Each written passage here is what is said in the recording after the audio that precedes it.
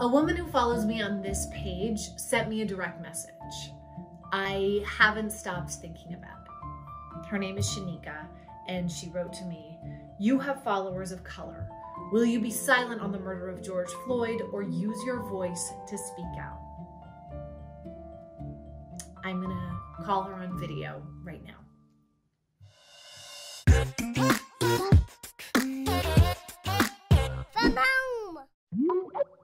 Chynika, hi. Hey. So, you are an elementary school teacher, you are a spokeswoman for Black History Month, and least importantly, you follow me on the internet. So, I don't Zoom most people who DM me. If I did, I would be Zooming like a lot of mom shamer and a few uh, eggplant emojis. But you were smart and you were right. And so I asked you to Zoom with me. And here we are. Here we are. I'm a huge follower of you. I mean, I've been watching you since like MTV days. Oh, I, I love what you do and I love New Mom Who Dis, but I wanted to reach out to you because you have a platform and I wanted to know, like, because you are a white woman, what you are going to be doing with your voice. And and like you told me that you were doing all these things, but again, like I had no idea because everybody was posting like a quote here or like a, you know, a thing there. But I thought it was important, and especially being a mom, like you've got a lot of followers who can take what you have to say and and use that to help with their small children. So yeah. yeah, that's why I wanted to reach out, I guess. But I think too, like what you made me realize is like, yes, bitch, you posted a thing and some swipe ups, but it's not enough. It's not enough. it's not 24 hours. It, it's not a 24 hour problem for everybody who's posting something. And I've had friends who, you know, I had my white friends be like, hey, like, is it okay to post this? And I'm just like, guys, just treat it as if it's a human being and it doesn't matter what their skin color is. Like, what would you say? You don't need to get clarification or approval from a black person. Just speak as if there was a human person that, you know, was killed and and it was unjust. What would you say? And so um, it's not even about what you post; it's what are you doing offline too. You know, that's that's the that's the point. And you really brought it to my attention because sometimes I think, as a white woman, how can I contribute to this? What can I say about it? How can I move the conversation forward? That's the thing too. Like even as a teacher, um, you know, the community that I teach in is mostly white, and I feel like most of the teachers, I'm the only black teacher in my school, right? So that's why I do get called to do the Black History Month presentations and like get called to do the announcements and things like that because people are like, okay, well, I don't, I don't know that much about it because it's not my experience. So like you do it, but it's all of our experience, right? It, it's probably more impactful to hear from someone who isn't black, and I think that's another reason why I reached out to you in particular. What could I do that would move this conversation forward as a white woman and a white mom? Um, honestly, it starts in your home.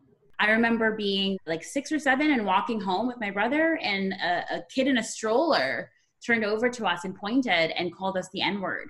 And the mom was just like, oh, oh, and then they kind of left. And I was like, what is that? And I was like, there's no way this kid knew what they were talking about. It, it all stems from the home, right? They couldn't even walk. Oh my so you know being able to to to say you know what this person's different. They're different and that's fine. That's fine. And i teach my kids you know if i got a cut if you got a cut we're both bleeding the same color. We're both the exact same. You know the fact that i have more melanin shouldn't determine whether or not i'm better or worse than anybody else. I am so honored that someone as intelligent and lovely as you follows my page and I and I wonder from you what I should do, what I can do with my voice and my show and my platform. Um, first of all, I'm just so grateful that you even decided to talk to me. And and when you responded, I was like, whoa. When I saw the blue tick, I was like, what? so like I wasn't expecting that. And and and being able to to have this conversation with you, I think can help so many other people. People that look like me that follow you, for people that don't look like me that follow you. I think that everyone can learn something. And I think that is what you made so clear for me when you reached out to me. And like, this is so stupid. We're talking about a DM, but like, a DM can change somebody's perspective forever. I have the ability and the platform to do more. And what I do is I talk to people and I have conversations. That's my job.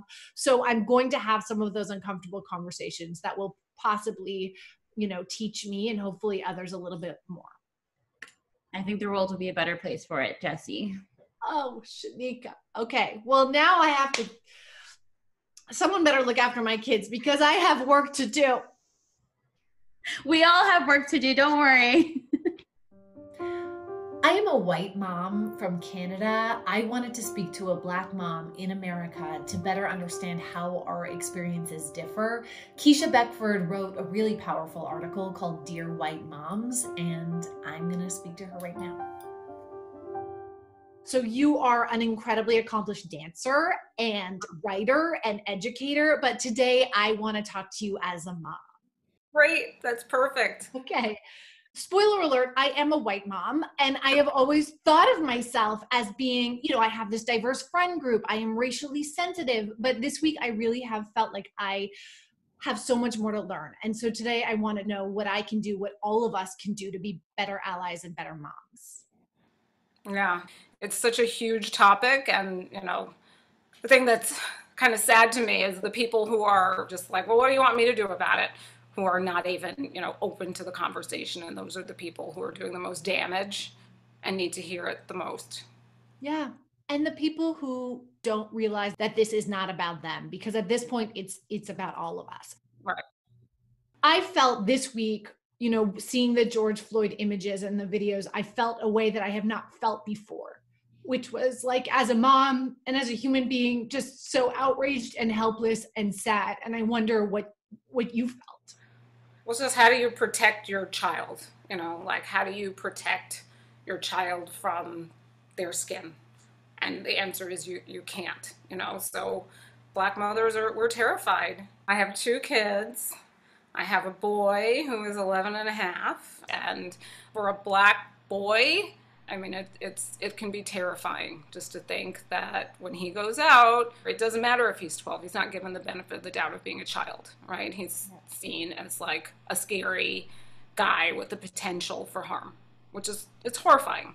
You know, every moment is, you know, you can't do this when I'm not with you, or God forbid you ever get stopped. And I think a lot of white people think it's if, right? You're living in a totally different world, but it's not if, it's it's when so some of the conversations we talk about are what do you do when you go into a store, right?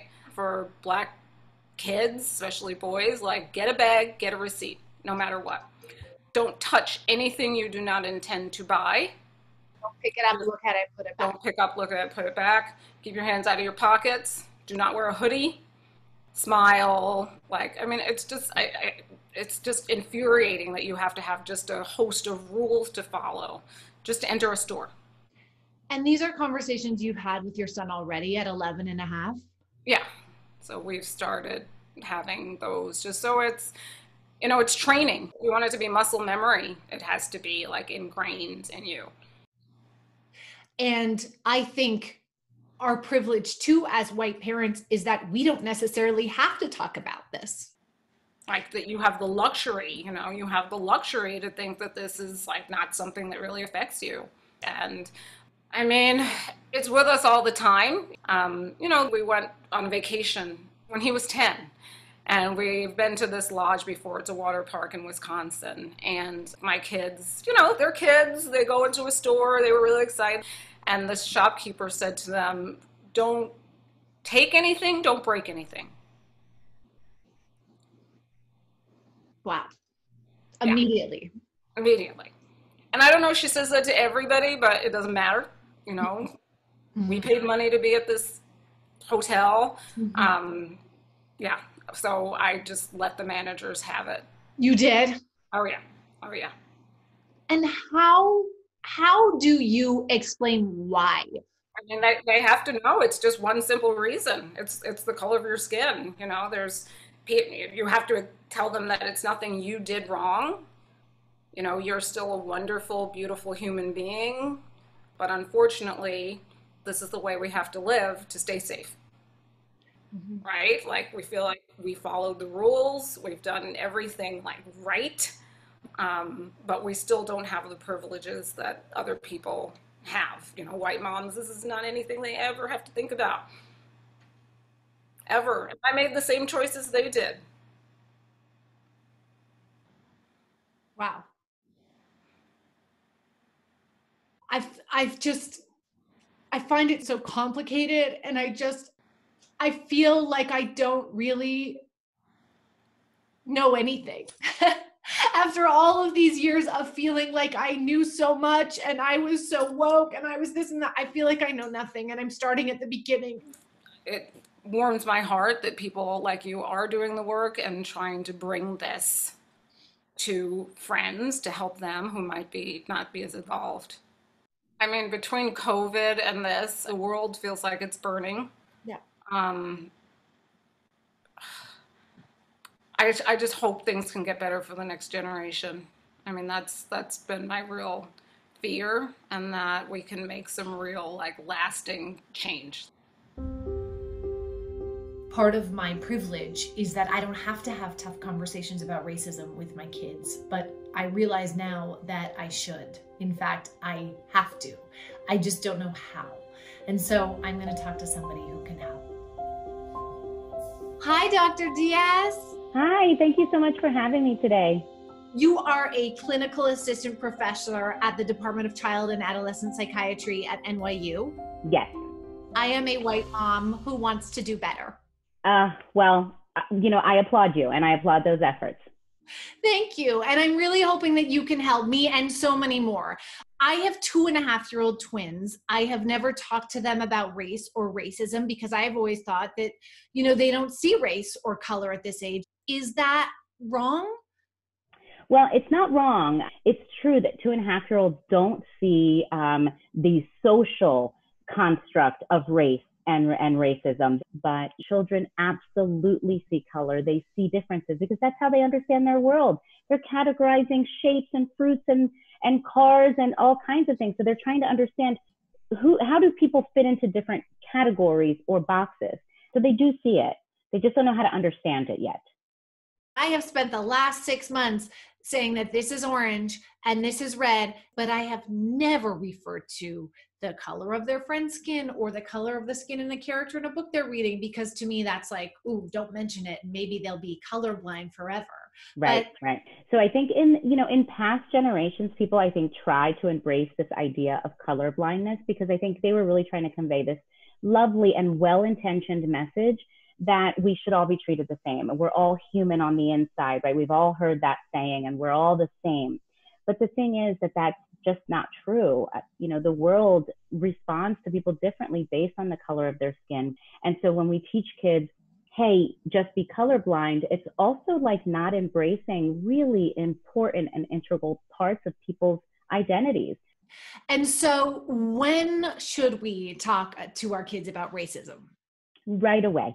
For really young children, we are starting the conversation about differences and similarities in people. Hey, there are different shades of skin tone. Did you notice that in the book we were reading that this person has white skin and this person has tan skin and this person has brown skin? And so we can begin to have the conversation so that it's literally not a taboo subject. It's just what we talk about because that's the world, right? Right. And actually, let me just pause and say that one of the other things that happens for moms and dads who are trying to have these really uncomfortable conversations, they're uncomfortable for us because we already have the adult perspective of how the world has, you know, sort of unfolded. For them, it's just a conversation. It's so funny because I I last season on this show, I talked to a woman about how to talk to our kids about sex. And it's the same advice. You can't be too nervous or uncomfortable, or they think it's taboo. Right. And so, especially for young kids, that's exactly how to start it out. It's not a taboo topic. This is something we talk about. We, and then you begin to expand the discussions as they get a little bit older. Then you start introducing the concept of fairness and injustice and how some people get treated differently because of the way they look. Did you know that, buddy? Yeah, it's it's really too bad. And as they get a little bit older, these are really, really meaningful conversations because, especially for white children, it really begins to teach them early on how to be allies of marginalized people. And that conversation starts as early as five? Certainly by kindergarten, this should have already been a, a conversation. So I only did this yesterday, but for the first time, I started to look at the books on my kids' shelves. I started to think about the Disney movies they watch, and it is predominantly white characters, like a lot of anthropomorphic animals, but very few people of color. Right.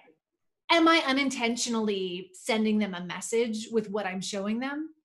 Well, I'm sure you didn't mean to, but I think this is exactly what you know um, parents might not even notice and should begin to notice. Mm-hmm. So unintentionally, yes, that's exactly what your your kids could sort of come to the conclusion of is that this is what everybody looks like and this is who the positive characters are. And so what one of the things that you can begin to do is to begin to introduce a diverse array of books of all, you know, that sort of demonstrate characters of all um, skin tones and physical appearance. I think the one thing that we can hopefully take away that I'm taking away from this is like, I'm going to be a better parent because of it. I am going to be a more actively engaged parent, and I am going to ensure that my kids are putting good and positive into the world. Kids are not born racist. We all know that. And you know, here's the thing this is actually the opportunity that parents have to shape the understanding and shape the experiences of their kids. And so if you just leave it to them sensing the nonverbal messaging in their environment and what they're seeing on TV or what they hear, they will fill in the gaps. And then we've missed an opportunity to help them understand it differently. And that's, I think, the most important part. Yeah. Yeah. Yeah. If we, and like, I don't know, I just feel, I feel emotional. I understand. And I'm going to try not to cry, but I just feel like, you know, I feel guilty. I feel like even though my kids are so little, I haven't done enough. And like it's taken so long for me to realize that I have to do more. So, uh, well, you. you know what? I, I understand. I always tell parents um, don't feel guilty if you've missed an opportunity or something didn't go as planned or it wasn't your finest parenting moment. Just do over and do better. So I, I understand though. I think a lot of parents are feeling what you're feeling. Um, Dr. Diaz, I am so grateful to you, and I know so many of my viewers will be as well. And I can speak on behalf of all of us and to say that we we want to do better, and we are going to strive to do better as parents. I want parents to really take the chance and the opportunity to have these uncomfortable conversations, so that they're the ones shaping their child's experience, not not everything around them. What you're saying seems so simple, it really does. It starts with pointing at, at, at a character in a book, and you know, ideally, it, it ends with with changing the world.